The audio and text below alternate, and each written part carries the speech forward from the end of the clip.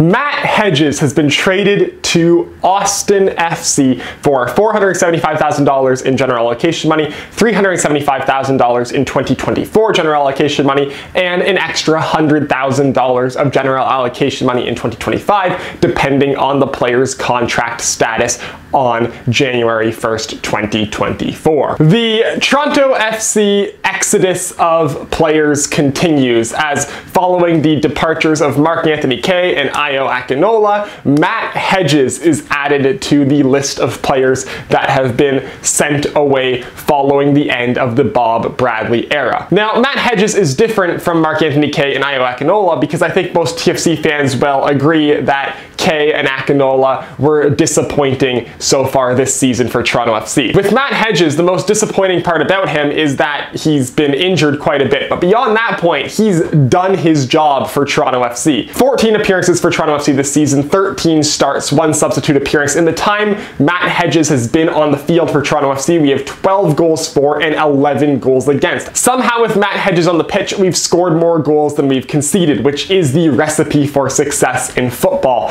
And Matt Hedges, with him on the pitch, we've only allowed 11 goals in his 14 appearances. He has been a solid defender, Toronto FC's best defender all season when he's been healthy. The issue is that he hasn't been healthy, but with Toronto FC's medical staff and the injury history surrounding Toronto FC, you can't really blame him for that. So why are we getting rid of him? Well, Matt Hedges is in a tough spot because Matt Hedges was brought in to shore up the defensive line, which was the worst in MLS last season, and help the team become competitive in their quick turnaround to try and become competitive for an MLS Cup this season. And Matt Hedges, he came in, he did his job, he made the defense significantly better, even with him hurt for almost half our regular season games this season, we're still on pace to concede 20 fewer goals than we did last season. And taking just the games Matt Hedges are a part of, we were on pace for 30 goals less than last season had Matt Hedges played in every single game, taking in the goal scoring rate with him on the pitch. So Matt Hedges came in and did his job. He helped the defense get a lot better and helped TFC be more competitive in that aspect. Problem is, is the offense completely dried up and just could not produce anything. And so TFC tumbled down the standings and we're in a spot where with 10 games left in the season, we're basically out of the playoff race. And Matt Hedges is left in a spot where he was a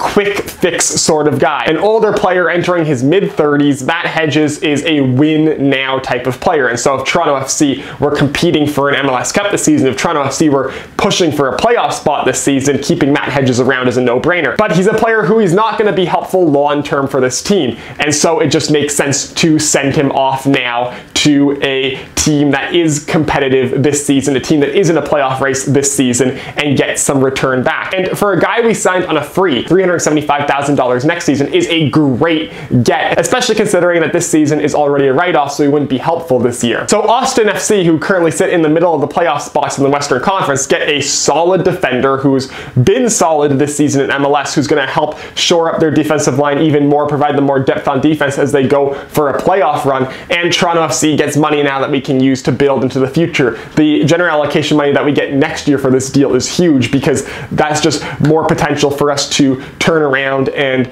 build towards a better team next season with this year already being a write-off. So that ends the Matt Hedges TFC run prematurely in an interesting spot where like unlike the other guys that have been exodus post Bob Bradley leaving you don't really blame Matt Hedges. Matt Hedges was thrown into a tough situation. He did his job. He played well for Toronto FC yes he got injured a bit but everyone gets injured a bit for TFC you don't blame him for that either.